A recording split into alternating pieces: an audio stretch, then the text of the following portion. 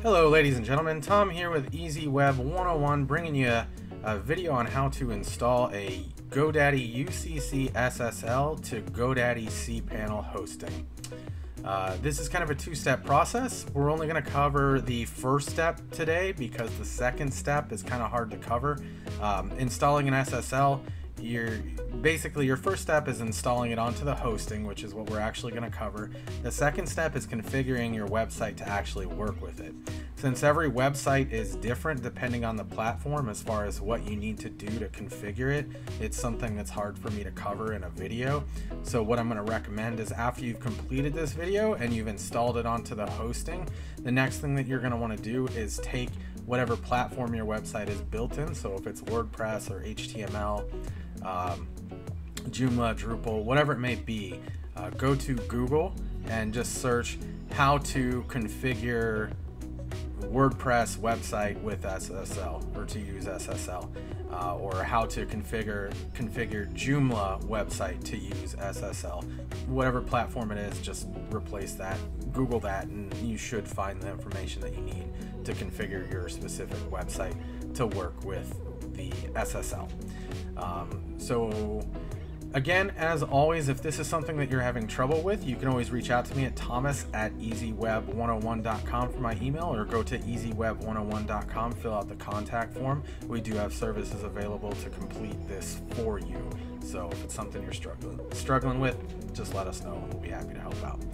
With that said, we're going to go ahead and dig right in here. Uh, our first thing that we're going to do is we're going to kind of make like a pre-check and make sure that everything is in order uh, for the SSL to be installed. Uh, do not skip this step because if you do, it your SSL can be blocked from getting installed. So we're going to go ahead and click the silhouette in the upper right corner of our account once we're logged into GoDaddy, and we're going to go to the My Products page.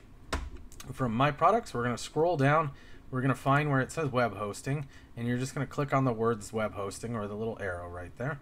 Find the account that you want to work with. I'm going to be working with this one today. Click the manage button to the right and then we're going to go ahead and log into the cPanel admin right here. Uh, so the first thing we want to do, we want to go find functions right here. We're going to type in SSL and it's going to bring us up to this section. Go ahead and click SSL slash TLS and then we're going to go to certificates where it says generate view or upload. We're going to go ahead and click on that and this is what we're looking for. Um, these cpanel auto generates self-signed certificates for testing purposes. It is not a real certificate. It will cause browser issues so um, but it can allow you to test your website beforehand if you don't have an ssl ready uh, it's for development so but these will also block us from installing our SSL. So we want to go ahead and get rid of these now before we start. So uh, if you have any that say self-signed in the issuer column, go ahead and click that delete button there and get rid of that.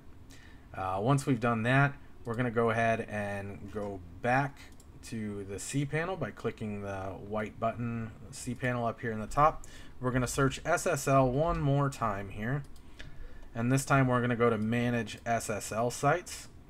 And you'll also check if you have this shows a certificate is installed on one of these domains. If you click certificate details same thing there. It says that self-signed warning. We want to get rid of that one as well by clicking the uninstall button uh, that's going to get us ready to install. Now, before we start, I'll show you my websites that I'm doing today. We're doing test.easyweb101.com and you'll see right now there's no green lockup here. If I type https colon slash slash before it manually and hit enter mm, it loaded but it shouldn't. There we go. Browser cache.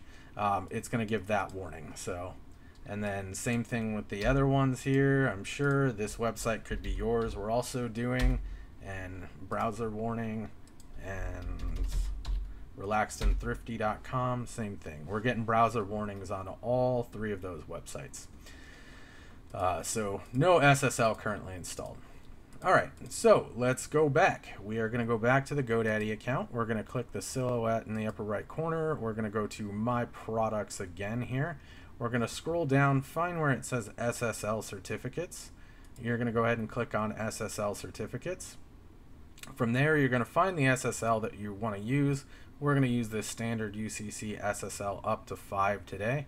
It says options and setup to the right. We'll go ahead and click setup here. And then it's going to bring us to this page that your certificate should be in the list here. Mine's not. If that happens to you, click certificates in the upper left and it'll pop up with a new and corrected list here. So now mine is in this list. One year standard UCC SSL certificate, 5 SANS.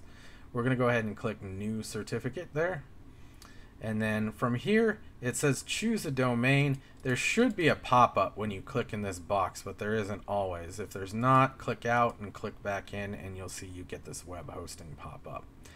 Uh, we're going to want to choose the primary domain for the hosting account that we're installing it to. Mine is test.easyweb101.com. And then we're going to want to add our additional domains below here.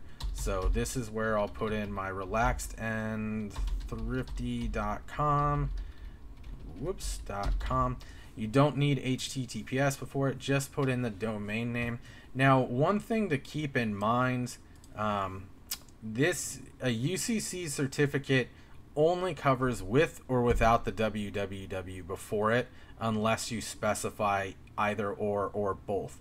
Uh, so if you go to your website, um, like if you were to go to this website, couldbeyours.com, and when you go to it, you see in the top of the browser, it has this www before it.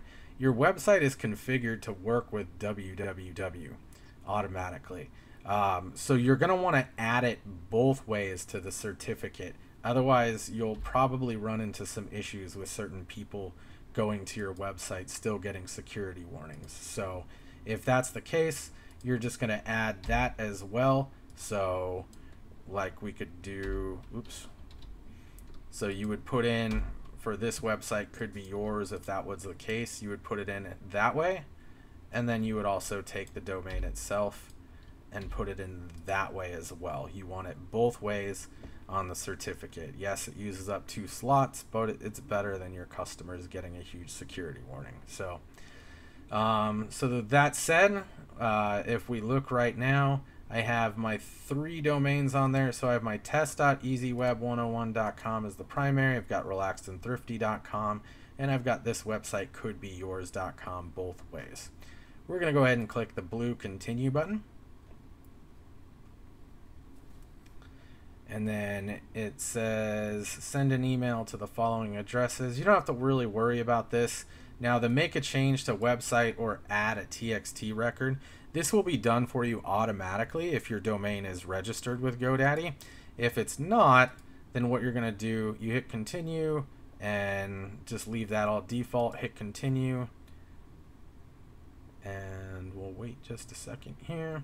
Okay, so if your domain is not registered with GoDaddy, and unfortunately I can't show you this because my domains are registered with GoDaddy, but if it's not, then on this screen you're going to wait a little bit for the certificate to verify, and underneath this code section there will be a code, a random string of somewhere around 15 characters or so, I believe. Um, and you're going to take this string of numbers, go to the registrar where your domain is at, and you're going to have them add a TXT record to the DNS uh, for that to uh, be able, for the certificate to be able to verify. Um, otherwise, if your domains are with GoDaddy, this should just automatically verify. You'll just watch this screen for a little bit. You can refresh it every once in a while. Shouldn't take long. As you can see, it's already verified the domain ownership. Now we're just waiting a minute for the certificate to actually issue. We refresh again and now we get this screen. That means the certificate is actually issued. Now, this should have auto installed on cPanel. That said, doesn't always happen, but let's take a look. So we're going to go back to my products and then we're going to go back to our web hosting, back to manage and back to our cPanel admin and we're gonna search SSL again and see if it's installed. We'll click manage SSL sites right there. And we can see you do have a certificate installed for all three domains. So perfect. That's exactly what we wanted. Now If you do happen to come in here and you don't see an SSL certificate in the list for each domain, so say I popped into here and I'm to uninstall this real quick. But say I pop in here and I see, oh, okay, here's test.easyweb101.com and the green the green lock is showing that, that there's an SSL installed on it, by the way, in this list. Um, so if I pop in here and I'm like, oh, well, where's where's my third domain? And I see the certificate for that and this one. There's not one for relaxed and thrifty. No problem. What you want to do is you want to go here and click Browse Certificates. It'll pop up and show you the certificates that you have. Uh, if you cleared out your self-signed SSLs, there should only be this one here. So we're going to go ahead and select the one that has our domain on it that says GoDaddy in the issuer column. Go ahead and click Use Certificate. Now it says domain. We'll go ahead and select our domain, relaxedandthrifty.com there. And then we're going to scroll down and we're going to hit install certificate. And then we'll click OK. All right, um, so that's it. It is installed on all three domains. Now you'll see if we go to the website here, I still don't have a green lock even if I refresh and the reason being is because the website does need to be configured with it. But if you manually test this beforehand, and of course as long as my browser cache doesn't mess up, so you'll see, okay, if I manually type HTTPS before it, I do get a green lock. So your website is now set and ready to be configured. Now the other thing that I want to show you, this is what I was talking about. Um, if you were to let's see, which one did I put the www on? Uh, this website could be yours. So you'll see I covered the www on that one. So uh, if we put www in there, like that, you'll see we still get a green lock. Now, comparatively, relaxed and thrifty, I did not do it on that one. So you'll see without the www, we're fine, but with www, your customers will still get a warning. So this is why you want to use the two slots up and put it in both ways if your website uses www by default. All right, and that covers pretty much about everything. Thank you for watching. And remember to like and subscribe for more helpful videos and tips weekly.